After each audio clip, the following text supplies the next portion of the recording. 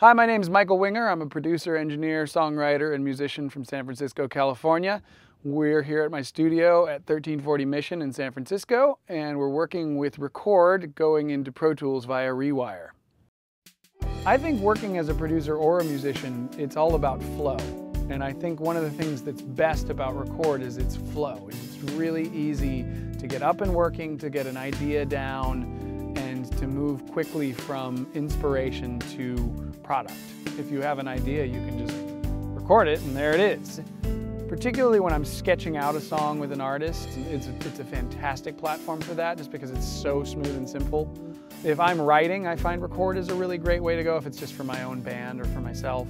And it's a really easy way to audition sounds and things like that. The speed of finding what you're looking for is fantastic. When you're reaching for a synth or for some sort of tonal texture, you don't want to have to look forever. But record makes it just really easy to get your sounds kind of organized in a way that's, that's just fast. So usually when I, when I work with, uh, with any instruments in record, um, I'll do it pretty much the same way that you set up any soft synth. Um, over here, for instance, we'll scroll up to, uh, to one of the tracks. I've got an instrument track here in Pro Tools uh, for a Mellotron choir, for instance, um, which I'm using on an, NNXT, I believe, or an NN19.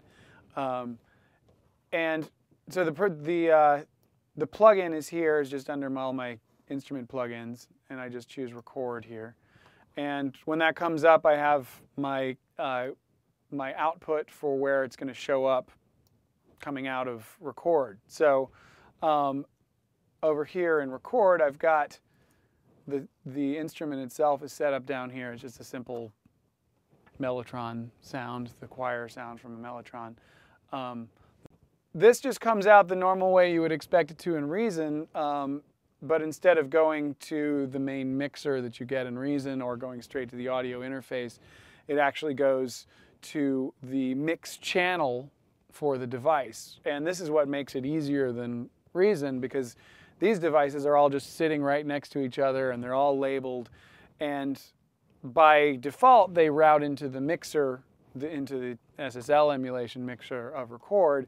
But over here, they come out of this line out, which I can then just plug in to the audio out over here, which shows up, for instance, this track is on 7 and 8, so I've just routed this guy up here to hardware interface channel whatever it is, five and six actually. Sorry, I'm, I'm have them all backwards at the moment. By having these just rewired like that, I can just grab each instrument on its own channel within Pro Tools, but having them all grouped together here makes it a lot easier. If I go back over here, then I'll find my Mellotron choir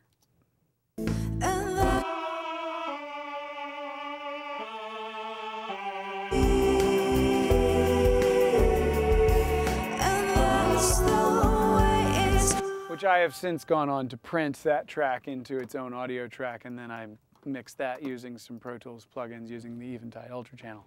Depending on the song, sometimes I, will end up using effects and delays within record as well because they sound really good, and sometimes that's just faster and easier. Later in the in the song, I have uh, I have this sort of odd little synth that shows up, like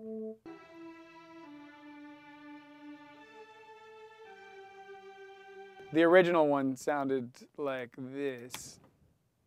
Uh, I rewired that and then I printed that track into, onto an audio track in Pro Tools and then I put that plug-in on the audio track. Um, I do that largely because I don't trust the timing of Pro Tools um, with MIDI. It's just, it's, it's not always reliable. Um, and on top of that, when you're archiving the song, you don't want to leave soft synths unprinted. It's just Recording Academy P&E guidelines say print any soft synths and make sure that they exist as audio files because they're easier to keep track of.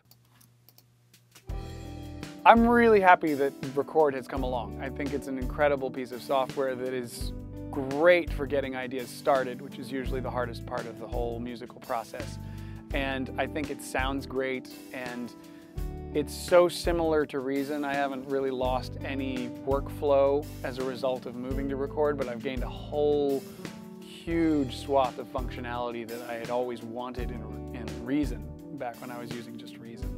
So I think Record gives you a nice flexible production environment that doesn't overdo it, doesn't give you too many new tricks, and yet and feels familiar enough for you to just get to work.